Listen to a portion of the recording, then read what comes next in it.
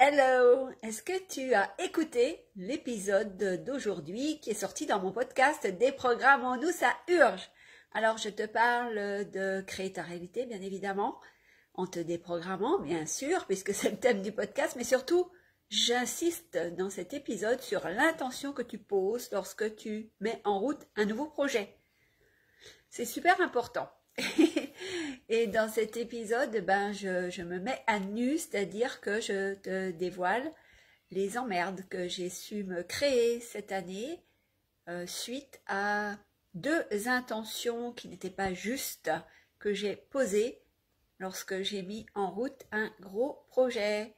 Voilà, c'est un projet business, entrepreneurial, et je te raconte euh, bah, ce qui s'est passé, le mur que je me suis pris, et les raisons pour lesquelles j'ai pris ce mur. Voilà, l'intention derrière euh, tout ce que tu fais est super important. De toute façon, tu poses une intention quoi que tu fasses. Je sais pas si tu es en train de marcher, en train de randonner, bah, ton intention c'est d'avancer. C'est déjà une première intention. Alors ne laisse surtout pas à ton inconscient le choix de tes intentions. Et même lorsque tu poses consciemment une intention, bah, choisis-la bien, sinon tu vas te ramasser la gueule comme moi.